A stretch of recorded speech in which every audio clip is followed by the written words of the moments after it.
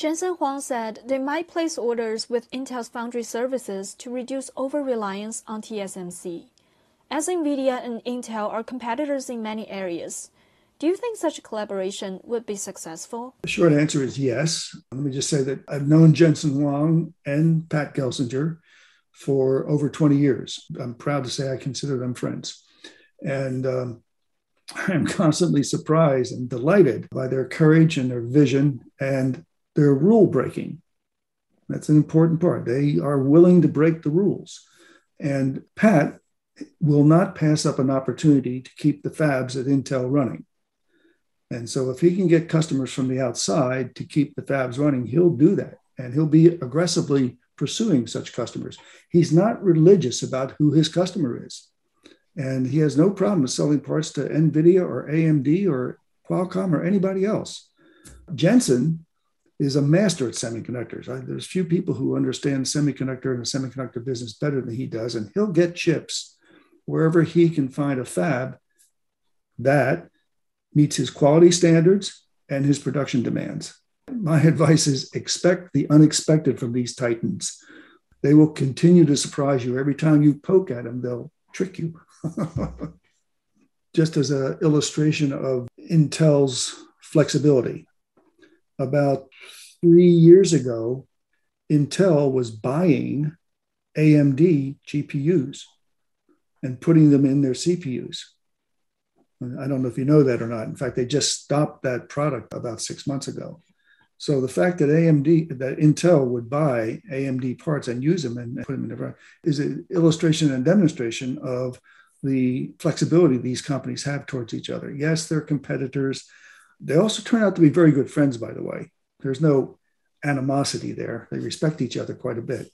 What are the new challenges for NVIDIA, AMD, and Intel's GPU or DGPU competition in the context of CPU slash GPU heterogeneous combination? GPUs are everywhere. And I know that sounds ridiculous, but it's true. You can hardly find an electronic device that does not have a GPU in it.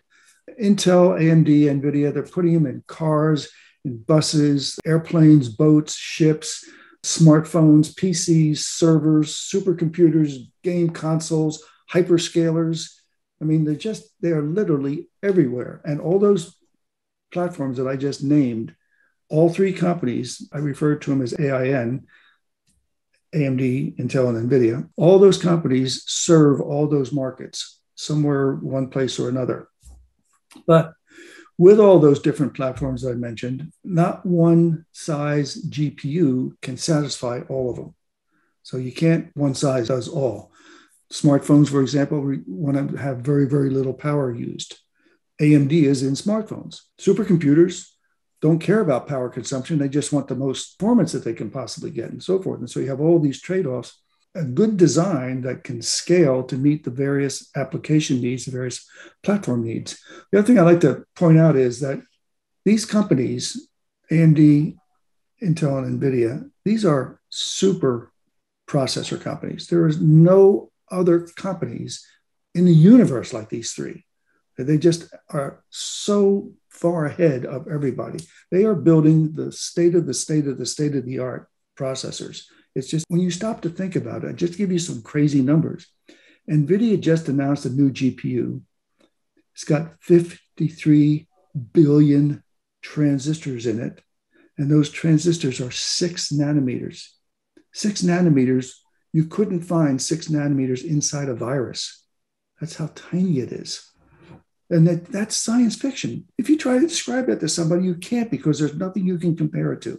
And they're pumping these things out hundreds of thousands of them every week, and they're coming out and they work. We're using them right now. So don't underestimate these companies. And also, let me caution you don't judge them or try to report on them like you would a football game.